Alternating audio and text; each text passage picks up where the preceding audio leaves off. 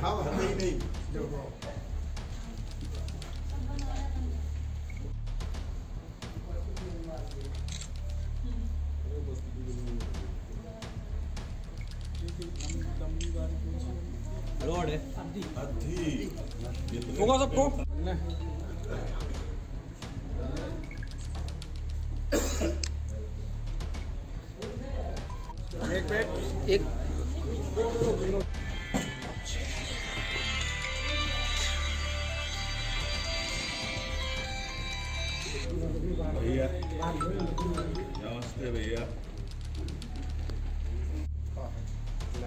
हो गया है पीसी हो गया बीसी में कप्तान साहब है लेकिन हम भी जाएँगे।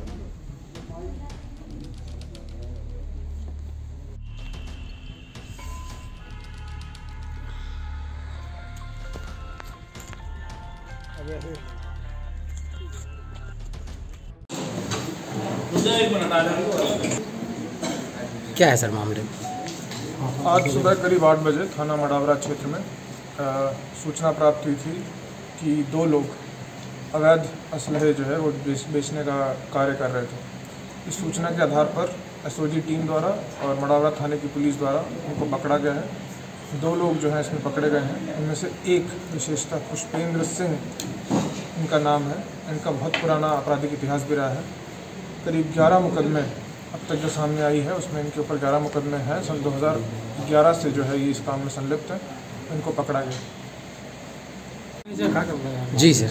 दो लोगों को इसमें गिरफ़्तार किया गया है और उनके पास से छः तमंचे जो हैं बरामद किए गए हैं। और ये करीब आठ हज़ार रुपये के अप्रॉक्सीमेटली उस कीमत पर जो है इसको बेचने का काम करते हैं। सर कहाँ से आ रहे हैं? ये अभी तक जो प्रारंभिक इनसे पूछताछ की गई है उसमें यह है कि मध्य प्रदेश से जो है इसको खरीदते हैं और यहाँ पर आकर के बेच रहे हैं। सर कितने की बेचते थे? यहाँ पता चला कुछ यहाँ पे। करीब आठ हज़ार की कीमत में वो लोग बेच रहे थे। इसको